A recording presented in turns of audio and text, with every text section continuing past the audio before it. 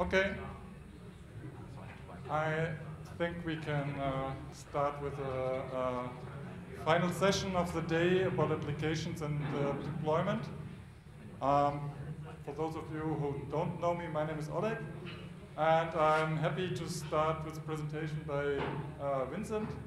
And um, so we all know about uh, code sharing, but uh, now we're going to learn something about car sharing. And um, yeah, Vincent is an um, IoT software architect working for um, Continental uh, with a, uh, build a um, car sharing device, uh, or led the effort to build a car sharing device. There's a lot of different connectivity um, options involved. And uh, he's also a long-time Riot contributor and maintainer. And I'm uh, very uh, curious to hear, hear about the um, new device. Thank you. For having me. Um, better? Oh yeah. So thank you for having me. Um, very glad to be here. Um, so I'm going to talk about the, the, the product uh, that we're developing. Um, uh, uh, we've been working on that for more than three years now. So um, I've been working on uh, Continental for almost six years now. Um, I've been working in OTA keys in between, so OTA keys is a, a, subsidiary of Continental. So I moved from Toulouse to Brussels, and now I'm back in Toulouse. And this product that I, will talk about is the, the, third generation of the car sharing module that we are developing in Continental. So this is the logo of the key as a service uh, uh, portfolio. So, so we're part of the key as a service uh, portfolio in Continental. And uh, this presentation is about the, this product that is running uh, Riot. So I'll try to present the, the, the, product and give a feedback about Riot. So I have a few teammates in, in the room. Uh, so you can ask questions to me or to them after the presentation. And I'll take the opportunity to talk about the team that is working on, on, on this product. So we are about 12 engineers um, spread in three locations, Toulouse, uh, Brussels, and San Jose in California. Uh, so yeah, when I think back about the, when we started this three years ago, we were about four in Brussels and now 12, so this is a big achievement, and I'm, I'm proud of, of that. Um, so a few keywords about uh, the product. So the commercial name is ACCM, and it stands for um, Access and Connected Car Module. So the internal code name is Rabbit. Funnier.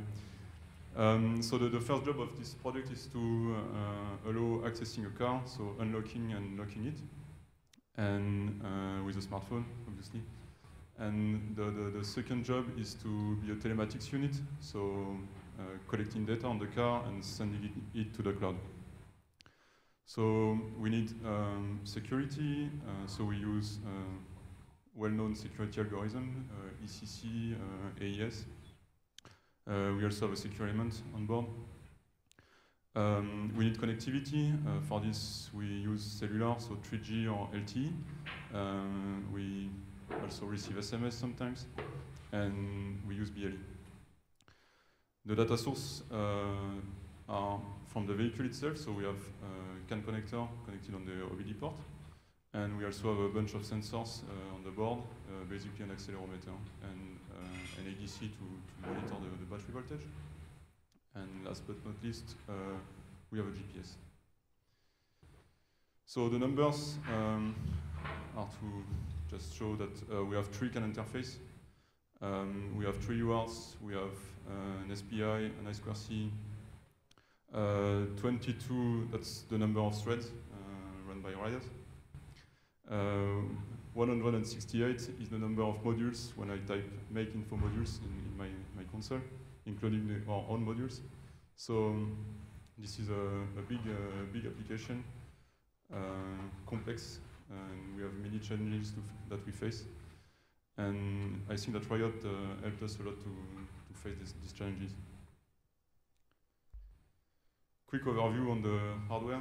So the, the brain is a STM32F4 uh, microcontroller. So as I said, we have uh, GPS on the modem. We have uh, a flash that we store a lot of logs, uh, vehicle data, firmware for firmware upgrade.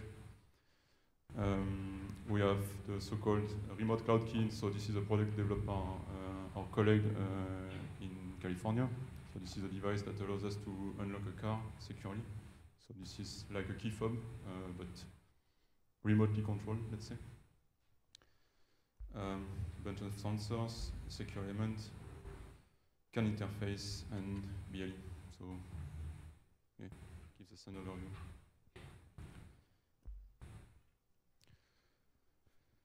Um, so a few words about what we contributed to, to Riot. So we started with uh, STM32 uh, development. So we helped uh, adding CPU. So that was a long time ago. Uh, during that time, there was a lot of improvement that has been made by the community and that we uh, are lucky to have.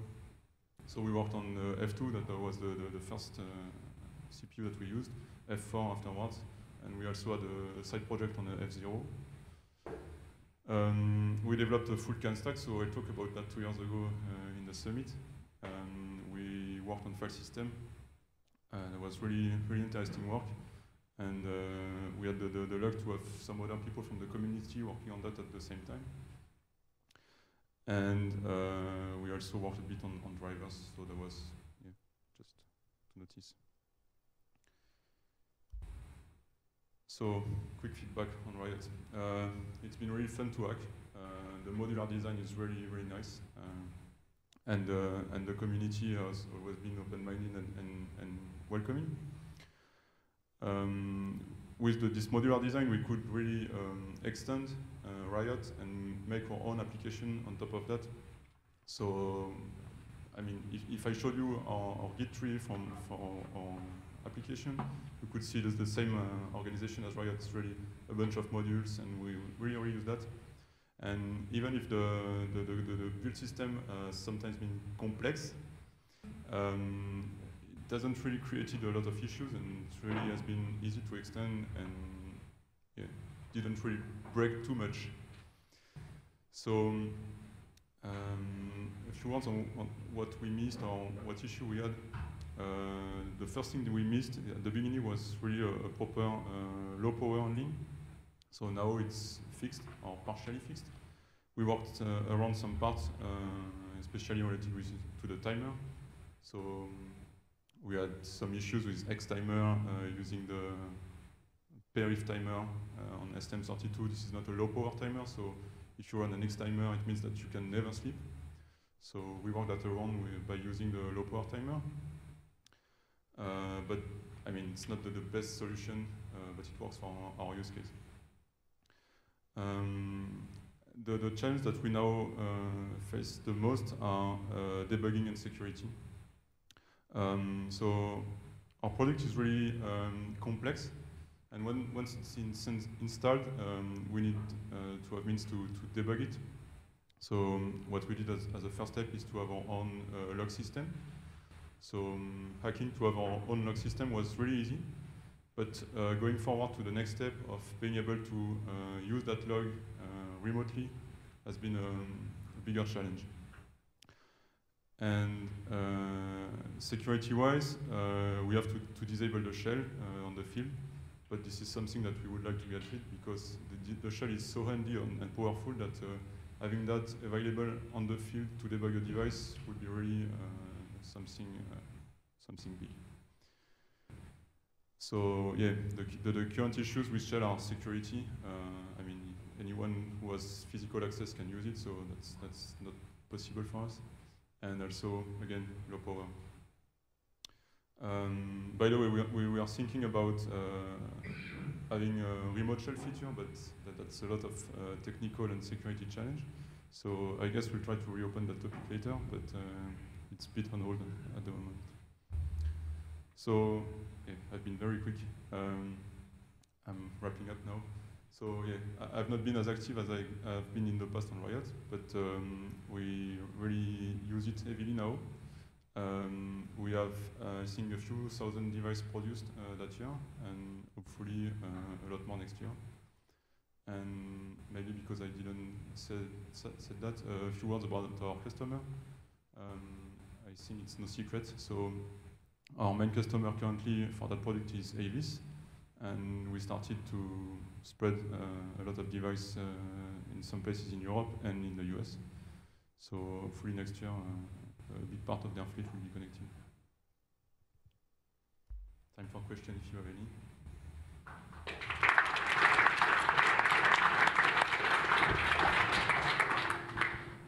So, any questions?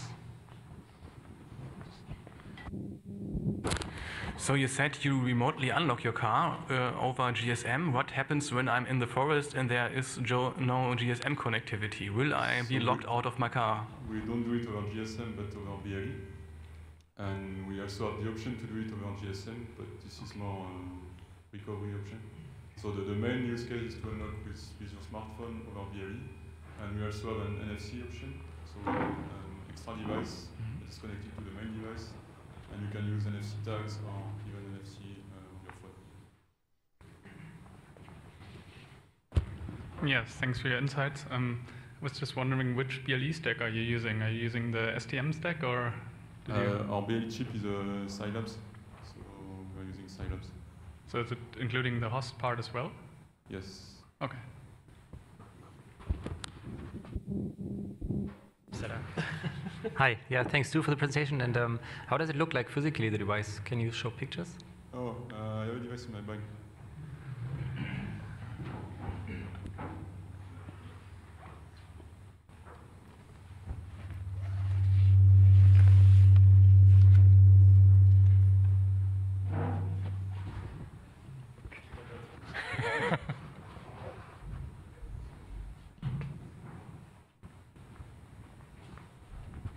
Don't lose it, please.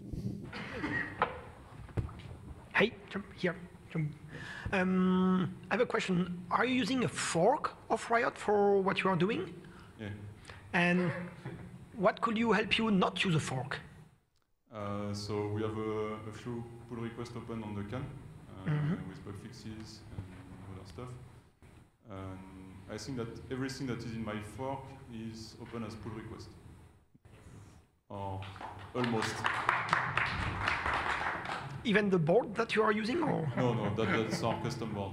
okay, but But that that's part of our applicative uh, directory. So because putting it outside could be something you could be interested. I mean, so, so you don't have a, you can you could use Riot Master and your board outside. Yeah. Okay, because we can.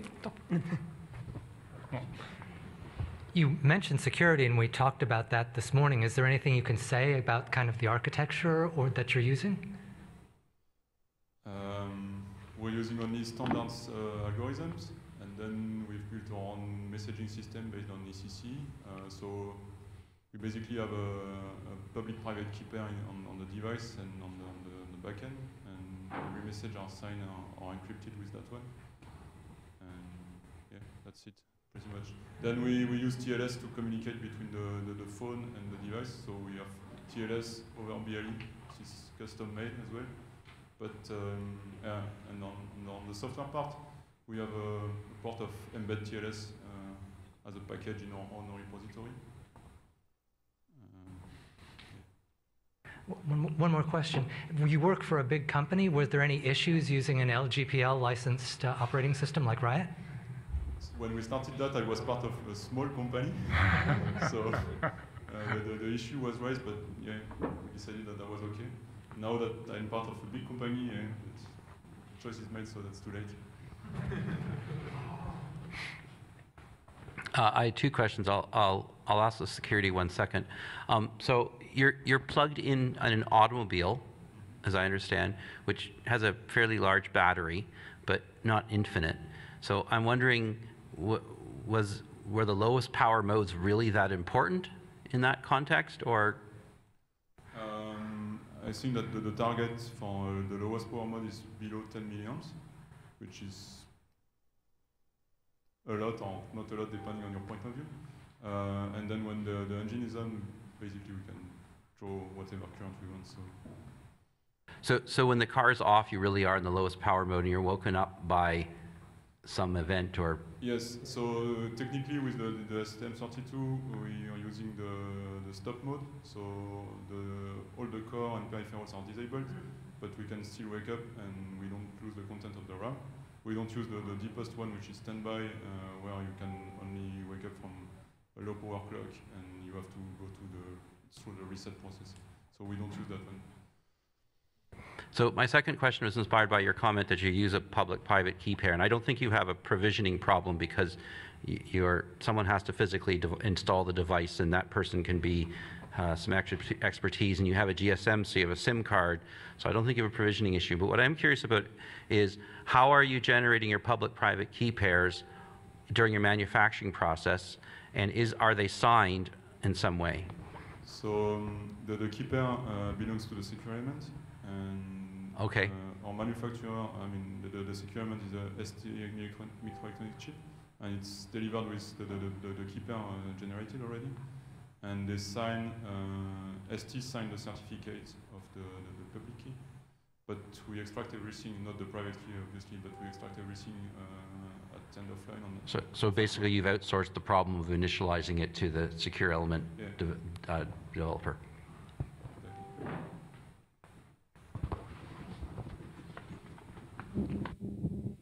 Um, I'm a bit curious about the security implications of, of interacting with a car over its internal buses. Um, is there anything you can do in such a device to maybe allow locking and unlocking, but not allow you to trigger the airbag or the brakes? So we, we connect to the OBD port, which is public. Um, so some cars have security, like gateways, uh, uh, between the, the, the OBD port and the, the other net, the, rest of the network. Some cars haven't. Um, though we, we don't uh, unlock the car uh, through the OBD port, so we, we're not using the CAN to do that. But um, yeah, in some cars, if you send a wrong request or, uh, or, or you do something bad with the bus, you can put the car in some state that you don't want to have. But um, I've never seen uh, very dangerous stuff uh, due to that. I mean, you'll have a lot of uh, blinking and so on, but normally it's okay. Though, I mean, it's not completely our responsibility, it's also the, the responsibility of the car manufacturer. But um, yeah, it's, it's a concern to be sure that uh, we don't send requests that we are not supposed to send. And yeah, we try to, to be uh, conservative on that. Okay, one last question. Um, thanks uh, a lot for this uh, very uh, interesting um, presentation. Um, can you uh, give a few more, few more characteristics of what you would expect from a remote shell? Uh, what kind of security characteristics and what kind of um, you know debugging you're trying to get out of this? And because I mean, as the more remote you are, like. I think that PS is a very valuable command. You can know the state of, the, of, your, of. Uh, we have a bunch of uh, custom commands as well that we can send to, to get the state of, uh, I don't know, the, the modem or whatever. And we, we, we started a proof of concept with some commands to send uh, the, the comments from the backend, send it to the device, and get the response in another message but uh, it worked only for our own comments and it's not good enough. But yeah, ba basically uh, being able to do remotely what we could do uh, with a USB to UART connector uh, is really something that could help in some cases. So yeah, either through Bluetooth or GSM or both would be nice. Okay, I would say let's uh, thank Vincent once again. And I think it was good that you were so quick